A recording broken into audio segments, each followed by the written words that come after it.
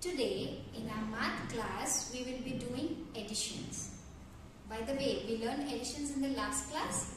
Yes. In the last class we have learned additions by drawing pictures. In this class we will continue the same topic additions by drawing lines. Can we do additions by drawing lines? Yes? Yes, we can do additions by drawing lines. You know how to draw a line? This is how you are going to draw a line. Suppose if I want to take a number 4 and I want to add one more number to 4. So what will be the answer here? I can hear the answer. So for addition we will be using plus sign and equal sign also.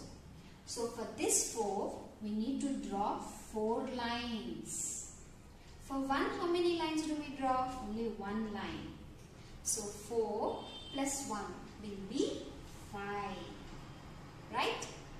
Yes. Shall we look at another example? Now I have 2 plus I want to add for 2 3 more. What will be the answer?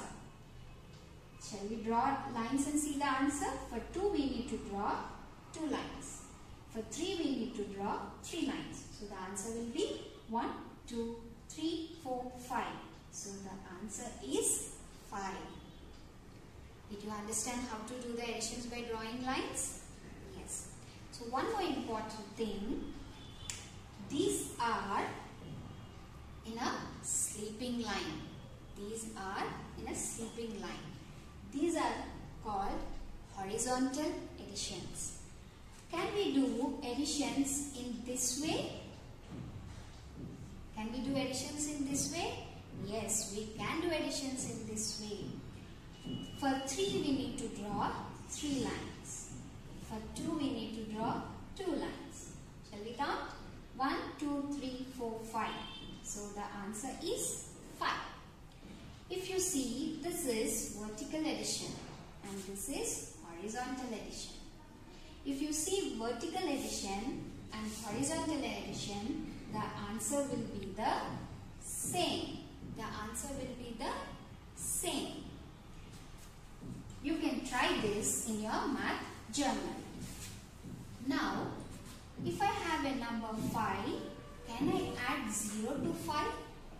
Can I add 0 to 5? Yes, we can add 0 to 5. That is, for 5, I am going to draw 5 lines.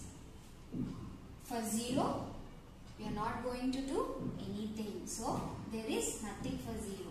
So, for 5, 1, 2, 3, 4, 5. So, it is only 5. That means we need to remember any number if you add to 0, it will be the same number. Same way, we can see for 3 plus 0. What will be the answer? It will be the same number. Right? Yes. So, this is concept 0. Now, if can I add 1 to any number? Yes, we can add 1 to any number. For 3, I am going to draw 3 lines. For 1, I am going to draw 1 line. So, what will be the answer? 1, 2, 3, 4. 4 will be the answer. Important point to note is when any number added to 1, it will be the after number. It will be the after number.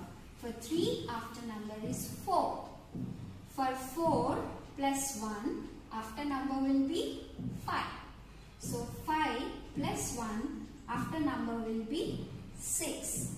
So in this class, we have learned additions by drawing lines. And we have learned how to do additions in a horizontal way and in a vertical way. We have learned two important concepts, concept 0 and concept 1 in your additions. You can practice these addition sums, find more in your math journal and enjoy the additions. See you all tomorrow in the next class.